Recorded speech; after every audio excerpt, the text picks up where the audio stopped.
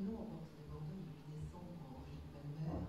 La soirée débutera à 19h par un club Jazz dédié aux lauréats du tremplin Action Jazz 2021.